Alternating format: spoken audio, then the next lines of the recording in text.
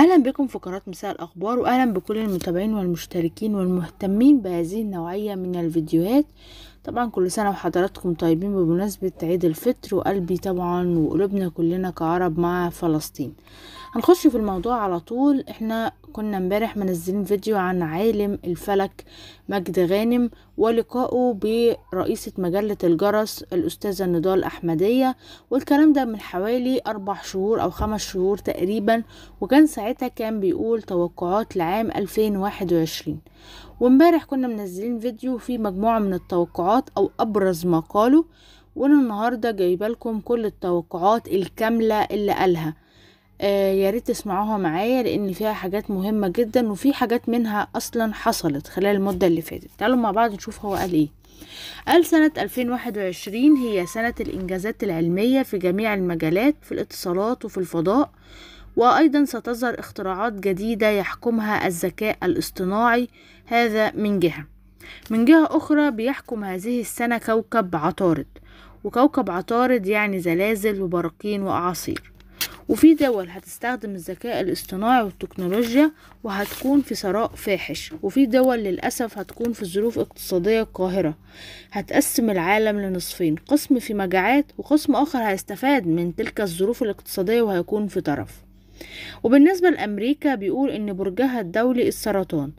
وإزاي نعرف كل دولة برجها عامل إزاي؟ بنشوف العيد الاستقلال بتاعها أو العيد الوطني أو العيد القومي لكل دولة وبنشوفه في تاريخ كام ومن ساعتها بنحدد البرج بتاع كل دولة. يعني مثلا برج أمريكا برج السرطان لأن عيد الاستقلال بتاعها في شهر يوليو فهي طبعا لبرج السرطان. المهم هو بيقول مجموعة من التوقعات لدولة أمريكا منها أن الزلازل ستطال الولايات المتحدة ودخول أمريكا في إنهاء أهم المنظومات النووية في العالم مع تدخل روسي وبيقول احتمال كبير يكون إيران.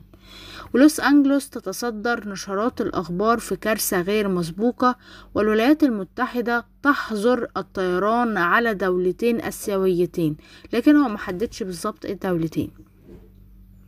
وأيضا هنشوف انسحاب جزئي غير مسبوق في الشرق الأوسط من القوات الأمريكية. انسحاب جزئي وليس قلي.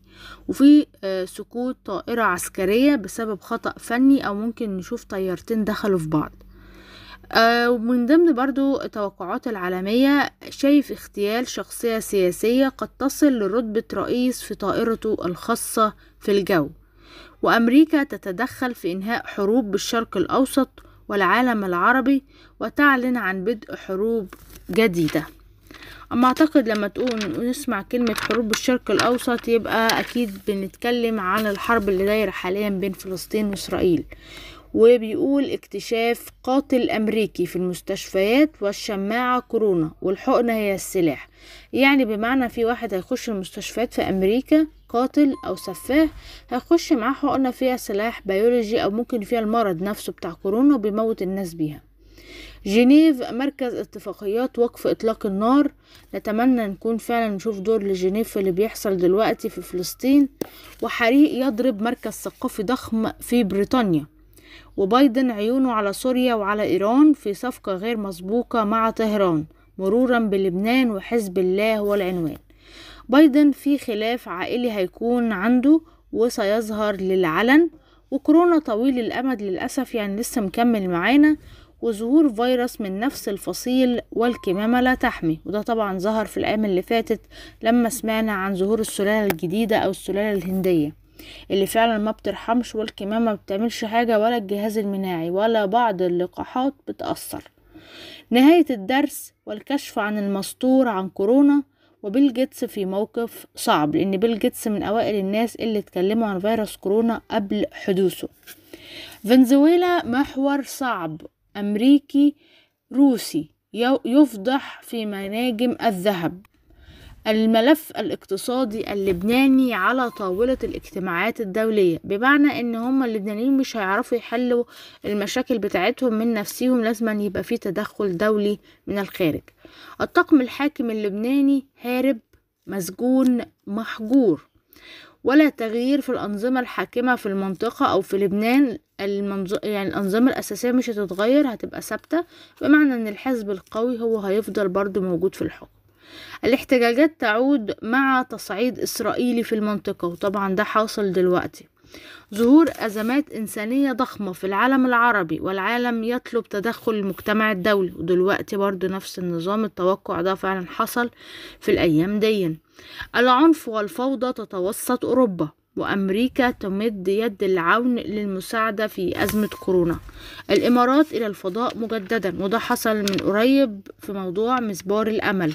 خدوا بالكم التوقعات دي كان قايلها في بداية رأس السنة يعني مش الكام يوم اللي فاتوا. آه، حابين إن إحنا نعرضها وفي منها حصل وكل أي حاجة بتحصل أنا بقول لكم هو فعلا ده اللي حاصل واللي طبعا ما حصلش ربنا يعني يستر اللي ممكن يحصل أو ما يحصلش العلم عند ربنا طبعا بس بنقوله. موجة برد شديدة تضرب شرق الولايات المتحدة وده برضو حصل في الأيام اللي فاتت لما كان قبل الصيف الشتاء كان صعب جدا وخصوصا في أمريكا. كان التلج وصل لأعلى مستوياته في الشوارع وكان مغطي العربيات ومبهدل الدنيا. اللي ساكن في أمريكا من الجالية العربية ممكن يأيدني في هذا الكلام. الأزمة الليبية في محكمة العدل الدولية والوضع ذاهب إلى الاستقرار وإلى الأفضل. ودي حاجة كويسة. الإرهاب يطال طلاب من نيويورك والسبب طائفي. الإرهاب يطال الحرم الإبراهيمي في الضفة الغربية. نتمنى طبعا آه، ما يحصلش أي حاجة في الضفة الغربية. كفاية اللي هم فيه. ولو هيحصل إرهاب يبقى إرهاب إسرائيلي مية في المية. صراع في الجو الصيني الياباني واغتيال لاعب كرة قدم عالمي في جريمة بشعة والكوميديا المصرية في حداد. طبعا كلنا عارفين دلوقتي ال- الأستاذ سمير غانم الفنان المصري الكوميدي الشهير حاليا في العناية المركزة وأيضا زوجته الأستاذة دلال عبد العزيز برضو تعبانة جدا بسبب فيروس كورونا ولغاية دلوقتي بقالها أكتر من عشرين يوم أو ممكن قربت على شهر. كل ما بيعملوا لها تحليل فيروس كورونا بيطلع إيجابي للأسف. وهي دلوقتي آه، عايشة على الجهاز الصناعي والأكسجين وجلسات الأكسجين نظرا إن فيروس كورونا قفلها خالص الرئة. الجوائز العالمية العالمية هتكون من مصير الأطباء وفي مخاوف على رئيس الجمهورية اللبنانية بكده نكون انتهينا من توقعات مجد غانم العامة هو عالم فلك وخبير في آه، الأبراج. وعارف حاجات كتير وليه توقعات كتيرة وزي ما إحنا شايفين وإحنا عمالين نقول التوقعات بتاعته في حاجات كتيرة منها حصلت أصلا في الأيام اللي فاتت. واللي ما حصلش ممكن يحصل طبعا وممكن ما يحصلش لأن العلم عند الله. لكن إن شاء الله نتمنى الخير والسلام لكل الدول العربية وخصوصا فلسطين وإن أزمتها تنحل. أنا كده انتهيت. لكن ما تنسوش تشتركوا لو لسه مشتركتوش. هتلاقوا زرار الاشتراك أو زرار السبسكرايب دوسوا عليه. هتفعلوا جرس التنبيهات للكل عشان توصل لكم الإشعارات. وفي نفس الوقت لو الفيديو اللي أنتوا سمعتوه ده أو شفتوه عجبكم يا ريت تعملوا like و share عشان يوصل لأكبر عدد ممكن من الناس المهتمة بنفس النوعية دي من الفيديوهات. آه شكرا وأتمنى لكم الخير والسلام وكل سنة وحضراتكم طيبين.